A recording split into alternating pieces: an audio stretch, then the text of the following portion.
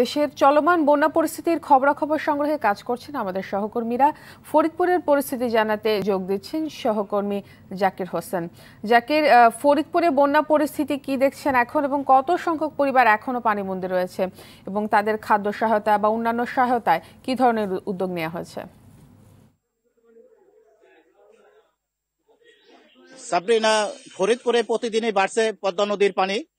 ফরিদপুরের পদ্মার পানি এখন বিপদসীমার একশো উনিশ সেন্টিমিটার উপর দিয়ে প্রবাহিত হচ্ছে।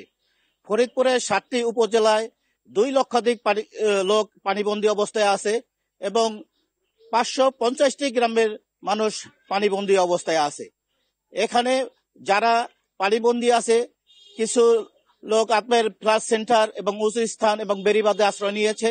এরা খুবই মানবতার সাথে জীবনযাপন করছে এবং এদের খুবই খারাপ অবস্থায় আছে। তারা অভিযোগ করেছে, বলেছে তারা এই পর্যন্ত কোনো ত্রাণ এবং অন্যান্য কোনো সহযোগিতা পায় নাই। তারা খোলা আকাশের নিচে বসবাস করছে। এদিকে জেলা প্রশাসক অতুল সরকারের সাথে কথা হয়েছে। তিনি বলেছেন, এ পর্যন্ত ফরিদপুরে চারশো মেট্রিক টন চাল, সাত লক্ষ টাকা এই ভুক্তভোগীদের মধ্যে বিতরণ করা হয়েছে। ফরিদপুরের সবচেয়ে খারাপ অবস্থায় আছে ফরিদপুর সদর চরভদ্রসন এবং নর্থ চ্যানেল ইউনিয়ন। এবং ফরিদপুরের সদরপুর চরভদ্রসন এবং মধুখালী এবং আলফাডাঙ্গা এবং আলফাডাঙ্গার কিছু এলাকা নদী গর্ভে বিলীন হয়ে গেছে। এইখানকার মানুষ খুব খারাপ অবস্থায় আছে। এদিকে পানি উন্নয়ন বোর্ডের নির্বাহী প্রকৌশলী সুলতান মাহমুদের সাথে কথা হয়েছে।